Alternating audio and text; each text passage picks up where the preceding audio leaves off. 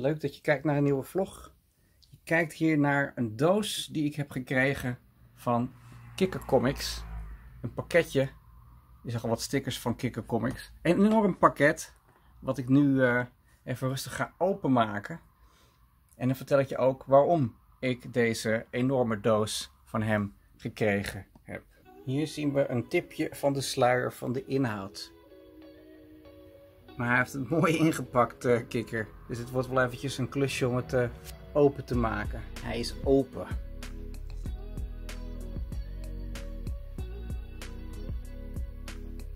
Nou, dit is dus de tweede prijs voor het winnen van de Bammer de Bam uh, Zomerquiz.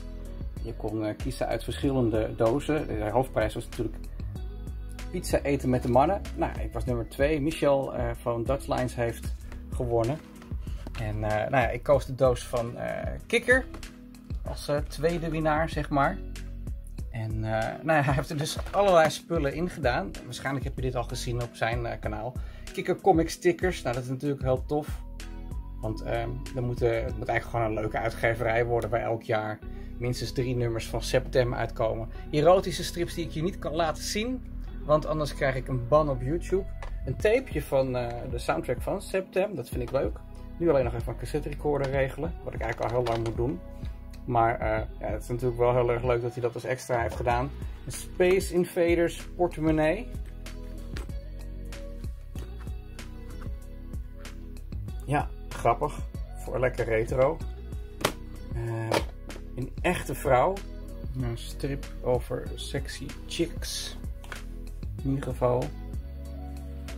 Met uh, humor. Dat is in ieder geval de bedoeling, volgens mij. yep.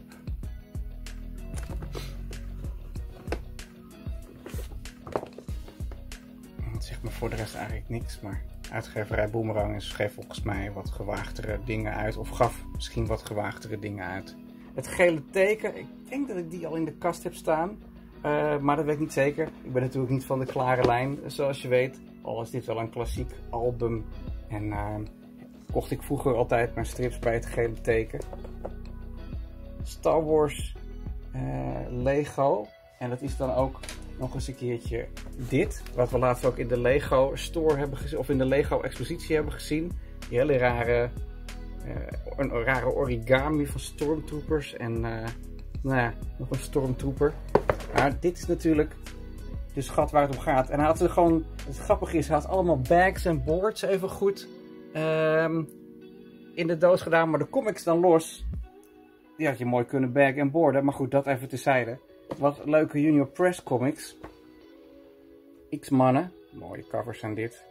Star Jammers. X-Mannen nummer 21. Goed gelezen exemplaar. Dit is een mooie klassieke cover van uh, Wolverine en Rogue. This vind ik ook heel gaaf.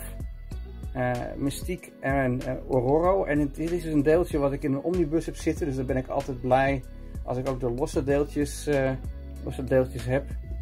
Sarde. Nou ja, die heb ik zelf ook. Dus die heb ik nou twee keer. En ja, deze heb ik natuurlijk ook wel. Maar ik snap dat Kikker dit een toffe comic vindt. Want Kikkers en Padden heet dit nummer. Van Buscema getekend. Het is een uh, klassieker, uh, klassieker junior press comic. Met uh, Spidey in de hoofdrol. Nou ziet het tof uit. Mooie dames. En een klassiek verhaal. Dus erg leuk. Um, een portret van Reagan heet hij geloof ik. Van de, de Stalking Dead. ik ben er nooit zo ver gekomen in het seizoen om deze gast te leren kennen. Ik ben na het derde seizoen gestopt met kijken. Dus ik moet even kijken wat ik nou weer met deze gast moet doen. Ik bedoel, het is niet... Uh, hè?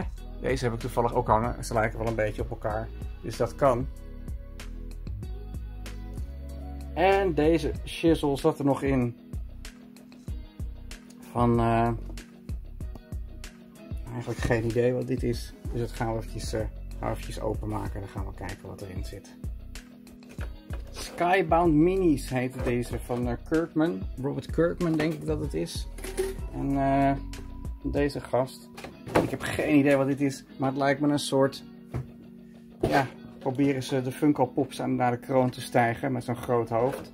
Nou ja, Ooit zag ik er wel een beetje zo uit, niet met zo'n groot hoofd natuurlijk, maar toen ik nog wat meer haar had en minder grijs was. Dus dat klopt wel. Dankjewel Kikker voor deze prijs. Ehm, ik ben natuurlijk vooral blij met de comics. En uh, ja, ik ben wel benieuwd welk item wat je hier ziet, wat ik net heb laten zien in de vlog, had jij eigenlijk willen hebben? Laat me dat weten in het commentformulier. En uh, nou, in het najaar ga ik gewoon weer meer opnieuw meedoen met de, de quiz van Bammer de Bam. Kijken hoe ver we dan komen. De eerste keer dat ik het deed, dit jaar, de eerste quiz, was ik de winnaar. Dus dat was helemaal tof. Toen ging ik uh, ja, theeleuten, pizza eten en uh, comic shops bezoeken met de mannen. Dat was leuk. En nou is dit de tweede prijs. Ook niet verkeerd.